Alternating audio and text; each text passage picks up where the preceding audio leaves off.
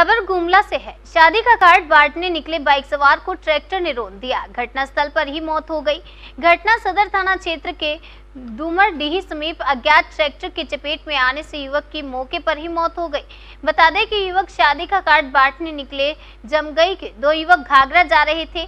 इस दौरान एक ट्रैक्टर की चपेट में आने से डूमर डीही के समीप में जमगई निवासी मनोहर लोहार गंभीर रूप से घायल हो गया। वहीं बताया जाता है कि दीपक की शादी का कार्ड बांटने दोनों एक बाइक पर घाघरा जा रहे थे, जिस दौरान ट्रैक्टर का चक्का चढ़ गया। जिसके बाद मौके पर पहुँची पेट्रोलिंग पुलिस व ग्रामीणों के सहयोग से 108 एंबुलेंस इलाज के लिए सदर अस्पताल गुमला भेज दिया गया, जहाँ चिकित्सकों ने मनोहर लोहरा को मृत घोषित कर दिया, जबकि एक अन्य बाइक सवार दीपक अहिर, जिसकी शादी है, उसको मामूली चोट लगी है। वहीं ट्रैक्टर मौके से फरार हो गया।